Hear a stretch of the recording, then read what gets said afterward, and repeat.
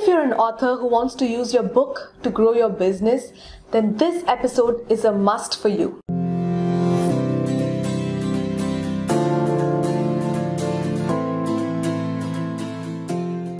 Hi, this is Jyotsna Ramachandran, the founder and CEO of Happy Self Publishing. In this episode of Author Success Show, we are going to talk about the best reader magnet you can have inside your book. But before talking about what a reader magnet is and some of the great examples, let me tell you what typically happens to a book. Now, let's say you've created this fantastic book packed with value, you're promoting it like crazy, and you are actually selling a lot of copies.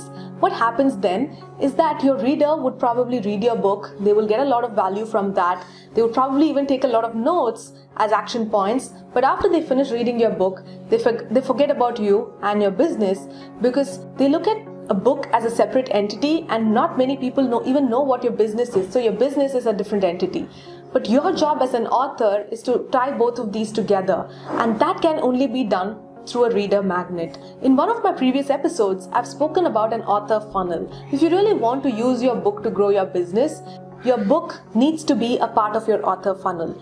Now, in that video, I would have explained how a book is right on top of your author funnel, and once somebody reads your book, they should know about all the free things that you have, like your podcast. Then they should know about your paid programs, like your course, and finally, your premium value, which is your one on one coaching or something that's really a high ticket offer. So, that's your author funnel. But here is the missing link in the author funnel, which is your reader magnet.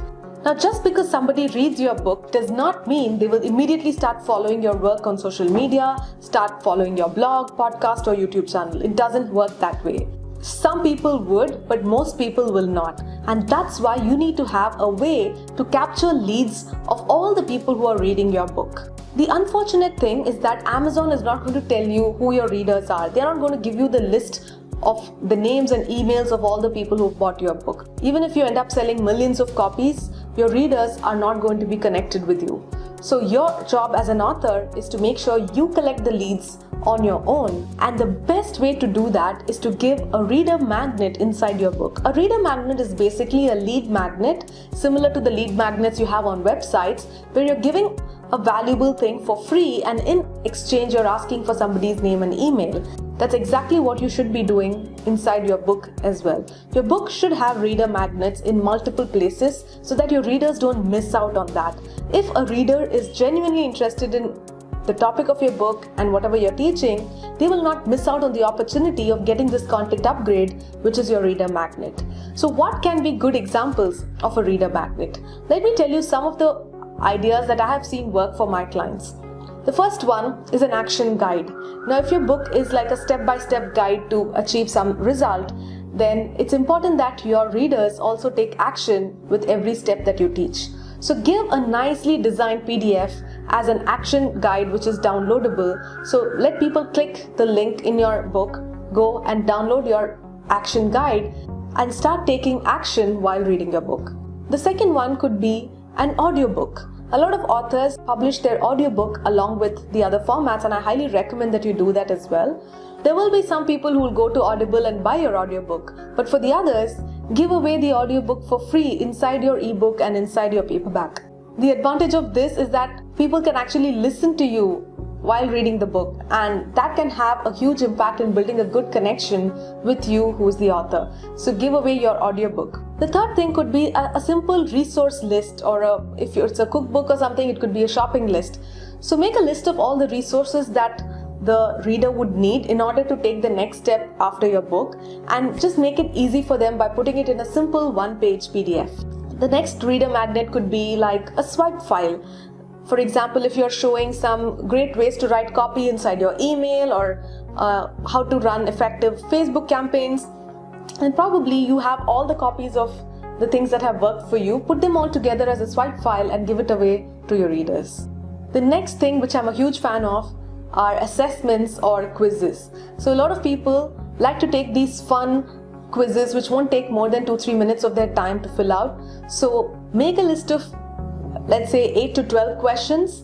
And at the end of the assessment people should know where they stand. And they should also know what should be their next step based on their score. So design this nice quiz. You can use any of these uh, quiz softwares or form filling software and that can help you build your reader magnet.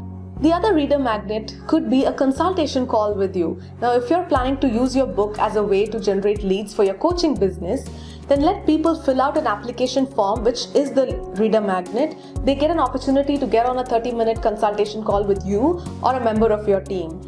This can be a great way to qualify your clients and then make them sign up. And the final example I would like to share with you are webinars or video series.